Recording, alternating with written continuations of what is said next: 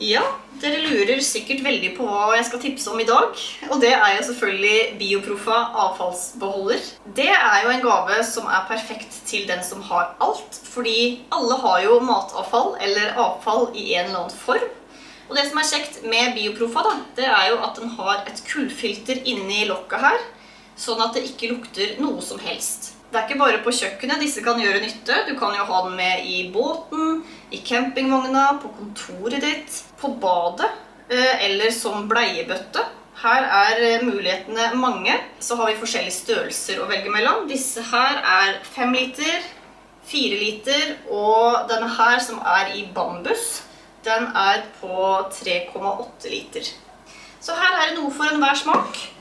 Og for å gjøre denne gaven her litt mer personlig, så kan du legge ved et eh, gavekort på hjemmelagd middag.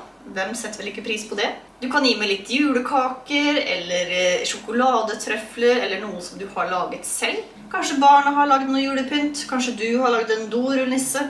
Putt oppi her, pakk den inn, så tror jeg mottakeren kommer til å bli veldig fornøyd.